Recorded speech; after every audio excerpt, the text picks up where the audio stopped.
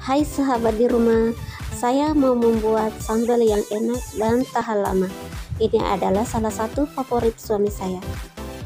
Tapi sebelumnya, jangan lupa like dan subscribe. Terima kasih. Selamat menyaksikan.